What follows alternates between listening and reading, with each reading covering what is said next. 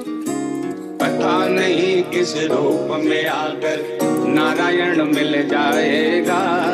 निर्मल मन के दर्पण में वह राम के दर्शन पाएगा। पता नहीं किस रूप में